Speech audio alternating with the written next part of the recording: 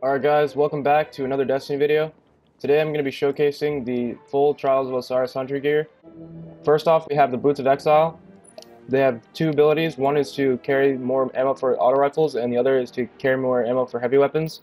Uh, this These pieces of gear are really, really useful for the Prison Elders because they just offer really good attributes for uh, armor, so you can just do more damage to Skolas, really, is the main reason. Uh, next, on to the Vest of Exile, the chest piece. Uh, all these uh, pieces of gear start out at 42 light, by the way, except for the gauntlets.